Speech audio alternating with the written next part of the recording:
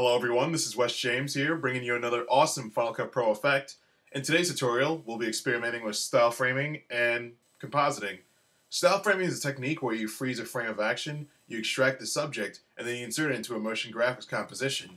With compositing, today we're going to take some stock motion backgrounds, use key filters to combine them into an interesting background. Here's an example of what we'll be doing today.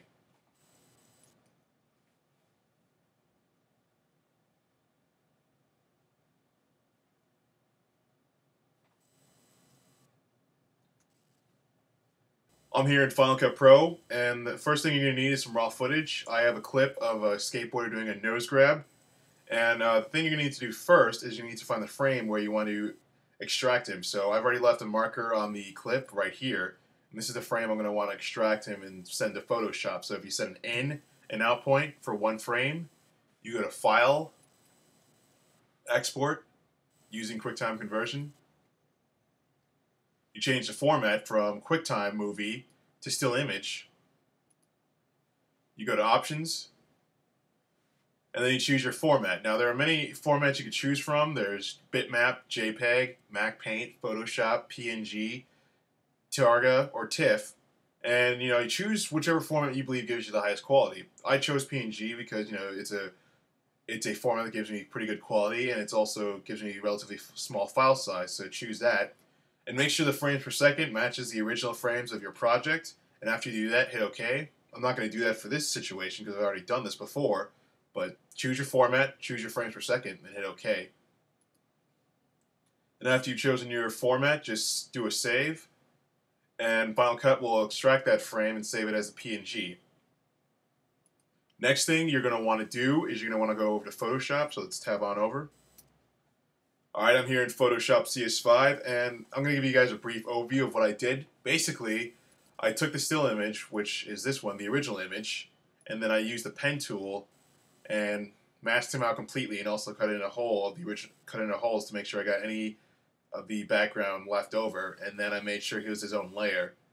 So make sure you keep the original image, duplicate it, and then you mask him out using any masking solutions you know, like the lasso tool, the polygon lasso tool, or a channel-based selection. And after that, I went to File, Save As, and just saved it as a Photoshop document. Photoshop documents, you're able to import that into Final Cut, and they'll come in as sequences. So, you know, just save it as a Photoshop document. I'm not going to do it again because I've already done this once before, but just do uh, save. There you go. So once you've saved your Photoshop document, go back to Final Cut Pro, all right, we're back in Final Cut Pro, and we've already saved our Photoshop document. It's called Nose Grab. We've imported it, and it's imported as a sequence.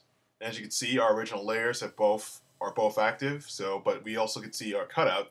So as you can see, our cutout has its own bounding box, and it's only constricted to where I cut them out. So if we disable the original layer, you hit the keyboard shortcut Control B, disable it temporarily, and we just select this layer. We have the ability to animate and manipulate the cutout like so. So let's re-enable the original layer, Control B. So, next thing we're going to need to do is we need to duplicate this nose grab sequence. So if you go to your project browser, you hit the keyboard shortcut, Option D to duplicate. You rename the original sequence, nose grab, you re rename it, you put BG at the end for background, and then for the copy, just change the word copy from CO. So if you hit enter, CO for cutout, so we already have the background sequence open in our timeline. So if we disable the cutout hitting the keyboard shortcut Control B, the only thing that's visible is the original image. So if we double click the nose grab CO sequence and we select the original layer and hit the keyboard shortcut Control B to disable it, the only thing that's visible is the cutout. So now we have the elements we want from both sequences so there won't be any overlap, there won't be any confusion. So if you need to close these sequences, hit the keyboard shortcut, Control W twice. Alright, so we're back in our original sequence. The next thing we need to do is we need to perform a cut where the marker's at. So let's get rid of the in and out point by hitting Option X. Hit the keyboard shortcut, Control V to perform a razor edit. So hitting Control V split the edit in half. So we're gonna, we're going to move this the right half of the clip about four seconds, two frames over. So if you type in plus four period two, It moves the clip 4 seconds, 2 frames. So the next thing we need to do is we need to bring in our background nose grab sequence. So if you go to your project browser and drag it in,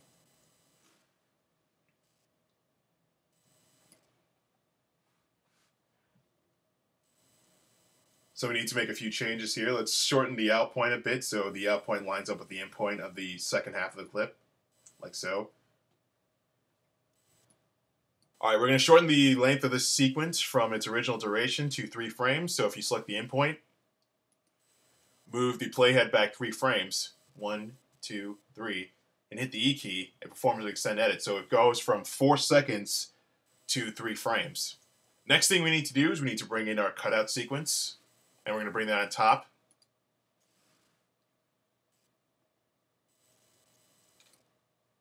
And we're also going to change the duration of this clip. As, we're also going to change the duration of this sequence as well. So we're going to change the out point. If we move the playhead and line it up with the in point of the background sequence and hit the E key, it performs an extend edit and changes its duration to about 3 seconds, 29 frames. So we have our nose grab PSD sequences in the timeline, so let's start duplicating the cutout sequence twice. So if you hold down Option and Shift and you drag up, you create a duplicate of the cutout sequence. Do it one more time. And there you go. So let's start adding some animation to these overall sequences. So if you Option double click the first nose grab sequence, it's on track 3. You go to the Motion tab. You hit Shift I to go to the in point and you click on the center parameter. Let's set some keyframes here at the in point. Type in plus 1 period zero six. moves the playhead, set another keyframe. Type in plus 1 period 28, that's another keyframe, and then hit Shift O to go to the out point and set another keyframe. So the next thing we need to do is we need to change the value of the second and third keyframes. So if you hit the keyboard shortcut Option K to go back to the third keyframe, change the X position from 0 to 90 hit Option K again and go to the second keyframe and change the center value of the X position from 0 to 90 as well.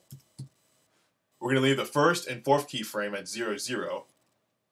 And then as you watch, it animates over and then animates back into place, like so. So the next thing we need to do is we need to apply this key, this animation to the other subsequent sequences that are on top. So if you right-click this sequence, select Copy, do a marquee select of the other two sequences, hit the keyboard shortcut Option V to paste attributes, select Basic Motion, and hit OK. Now all three sequences are animating at the exact same time with the exact same keyframes. Alright, so the next thing we need to do is we need to start adding some filters. So for our first nose grab cutout sequence, we're going to apply a light rays filter. So if you go to your effects browser, go to video filters, scroll down to glow, select light rays, and apply it to the first nose grab sequence. Option double click to bring the sequences to the browser. Go to your filters tab.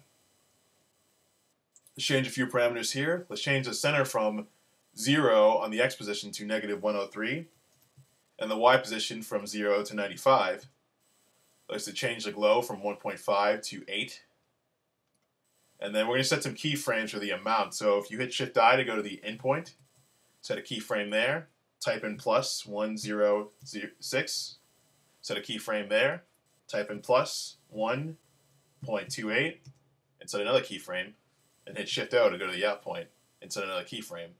So for the second and third keyframe, we're going to change the value from 50 to 200. So on third keyframe, change the value to 200. Hit Option K. Change the value from 50 to 200.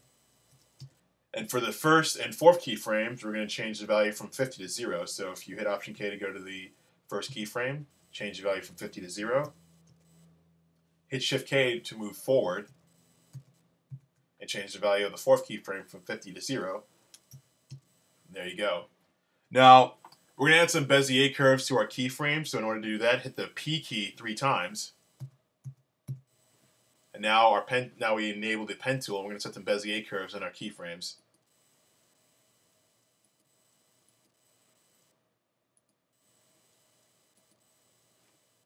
There you go. So now, as this thing, as our sequences are moving, we have a light rays filter that's animating in as well, and then animates out, back in.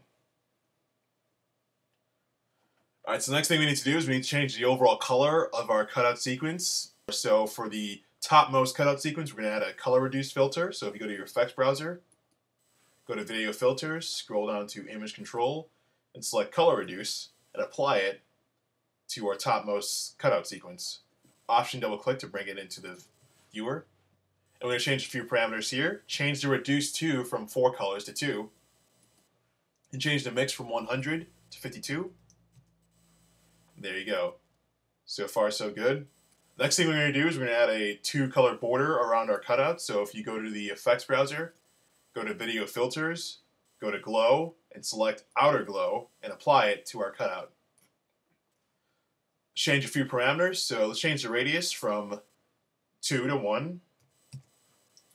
Leave the brightness at 15. Change the range from 0.25 to 0.26 and leave the horizontal and vertical at the values that currently are.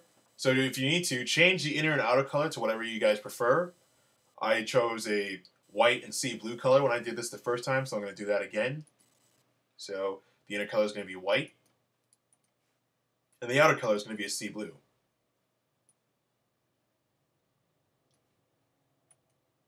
There we go.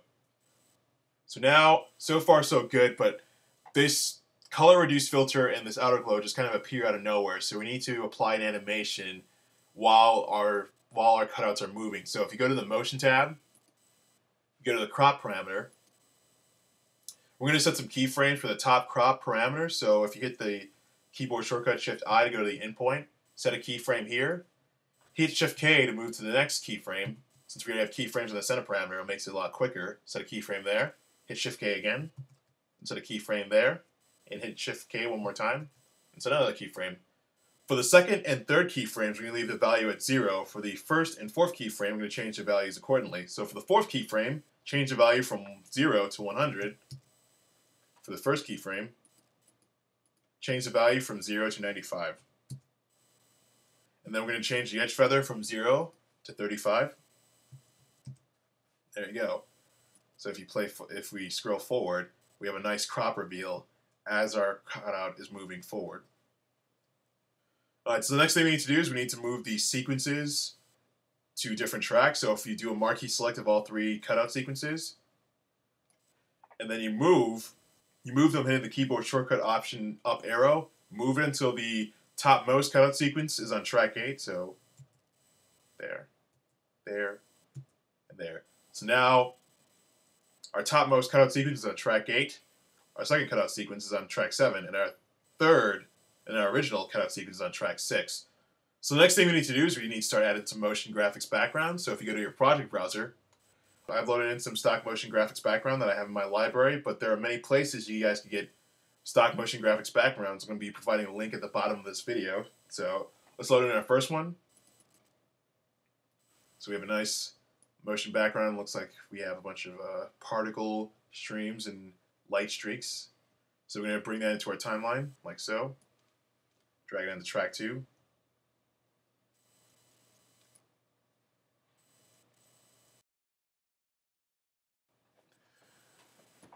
I'm not necessarily liking the color of this background, so what we're going to do next is we're going to change the color. I'm going to do that by adding a hue and saturation filter. So if you go to your effects browser, go to video filters, scroll down to the image control, and select hue and saturation adjust, and apply it to your background. Double click to bring it into the viewer. All right, let's change a few parameters here. Let's change the hue wheel from 0 to 271. And boost up the saturation just a little bit. Let's change the value from 0 to 1. There you go. So the next thing we need to do is we need to drag in another motion graphics background on top of this. So if you go to your project browser, and I have this stock motion graphics background, which appears to be a bunch of spinning discs. I'm going to drag it on top of our motion graphics background here. Let's do that right now. Drag it onto track 3.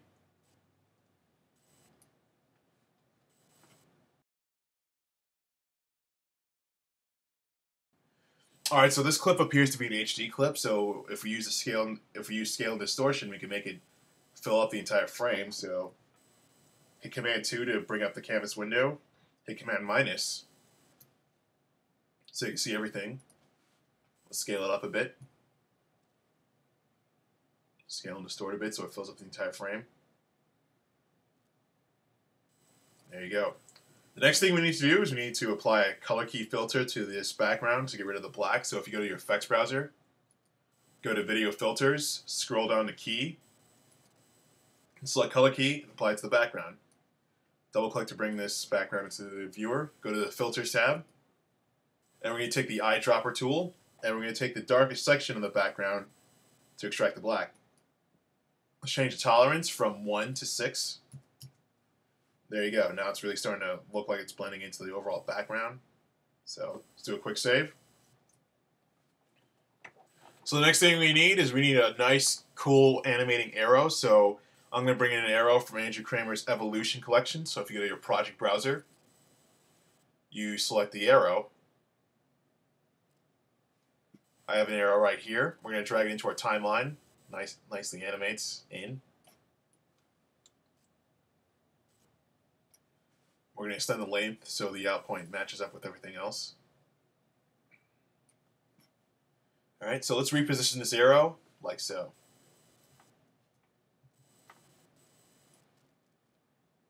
Let's rotate it a bit.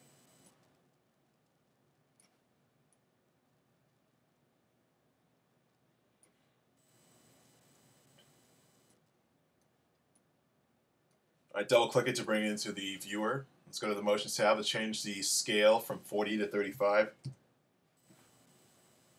Alright, so we have our arrow in place, but I'm not feeling the white so much, so let's change the color by adding a colorized filter. So if you go to your effects browser, go to video filters, scroll down to image control, and select colorize, and apply it to your arrow. Double click to bring the arrow into the viewer, go to the filters tab, and change the remap white to sea blue. I already have it saved in my color palette, so all I have to do is select that one and hit OK.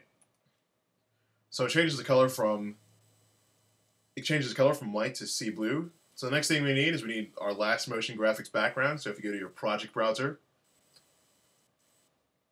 double click, and I have a stock motion graphics background of what appears to be a highway of flashing lights. So let's drag it onto track 5.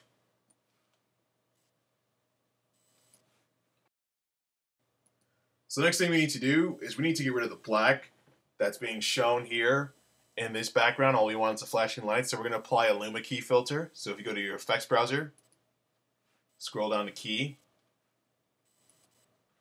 and select Luma key, and apply it to your background.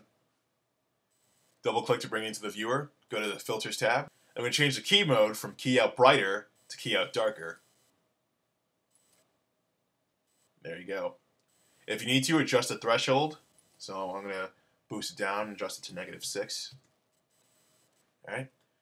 Now, I like the flashing lights, and I like that I got rid of all the black, but I want to change the color from gold to something else. So if you go to the effects browser, go to video filters, and go to image control and hue and saturation, Alright, let's change the hue wheel from 0 to 145. Let's boost up the saturation to about 2. So we effectively change the lights from gold to a blue color. So the next thing we need is we need some text. So we're going to scroll up on our timeline to, to track 9. If you go to your viewer, go to your generators tab, go down to text, and select outline text. So we have sample text change duration from 10 seconds to 2 seconds, 24 frames. Drag it on top.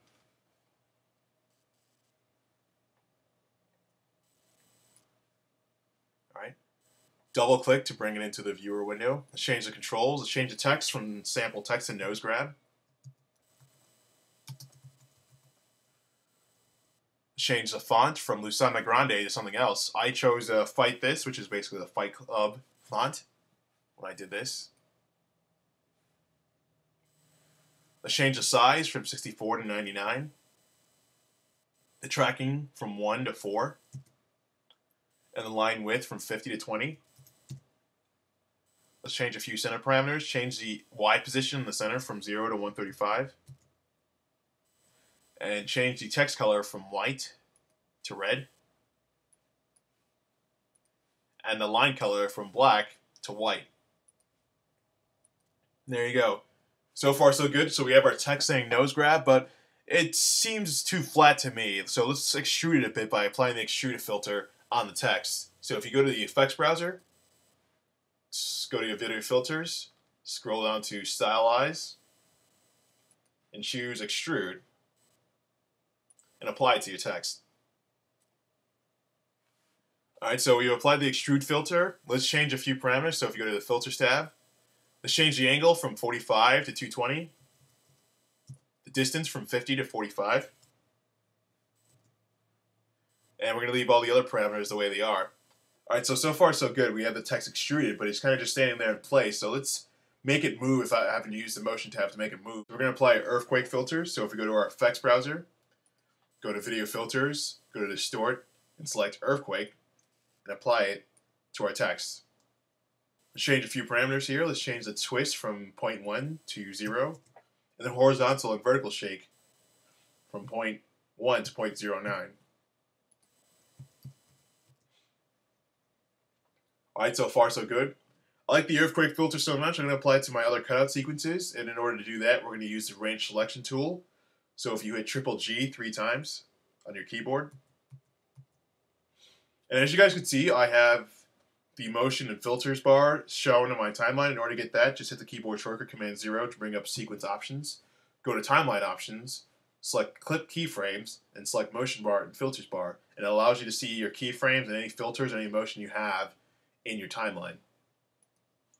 So we're going to go to the original cutout sequence, go from the second and third keyframe, so from here to here. We're going to drag on the earthquake filter from the text and apply it like so. And we're going to do the same for the other sequences.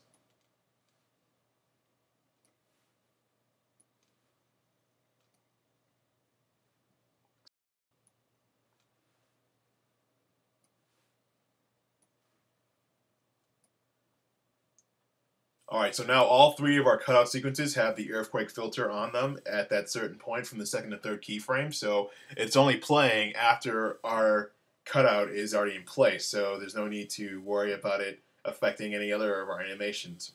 Alright, so the next thing we need to do is we need to add some transitions on the in and out point of the outline text because it kind of just appears out of nowhere. So if you go to the effects browser, scroll up to video transitions, select 3D simulation, and select cross zoom and apply it to the endpoint of the outline text. Double click the transition to bring into the transition editor. Change the duration from one, one second to 10 frames.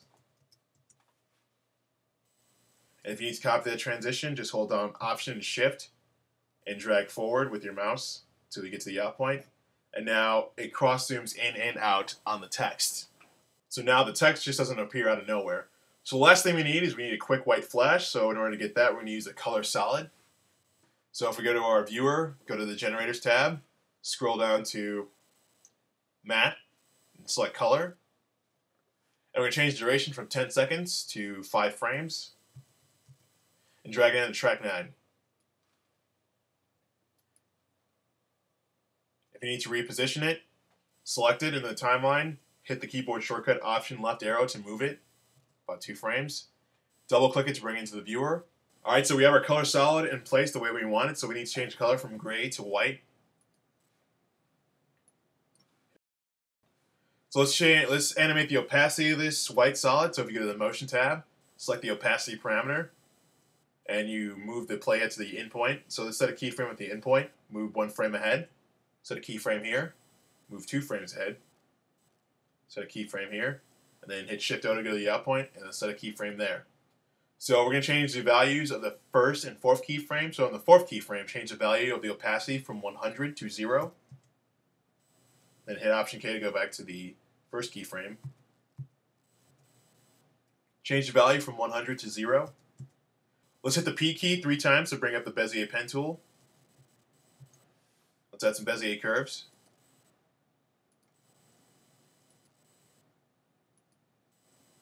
And if you absolutely need to adjust the keyframes, you could do so right now. So let's adjust the out point, the outgoing keyframe, the fourth one, to there. Move this one ahead one more. So everything lines up perfectly. So there's about the same amount of distance between keyframes. So now we have a opacity animation of our white solid as our skateboard gets into place for a style frame. So all we need to do now is we need to render. So I'll come back to you guys in just a few seconds. Alright, so we're back. We've rendered this all out, so let's see what the overall animation looks like. So if you move the playhead to the endpoint of the raw footage, you press spacebar or the L key to play forward, and this is what we have.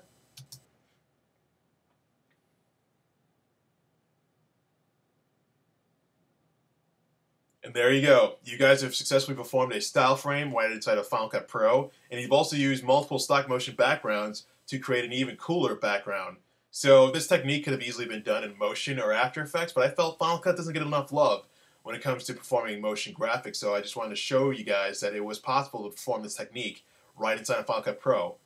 You know, and this technique is used in many places like sports highlights, movie trailers, and also in music videos. So feel free to use this technique in Final Cut and try to perform it. Hell, try to replicate it, try to even improve upon it. Take the sky to the limit if you absolutely have to with this technique because it brings a lot more creativity to your projects. Until then, stay creative.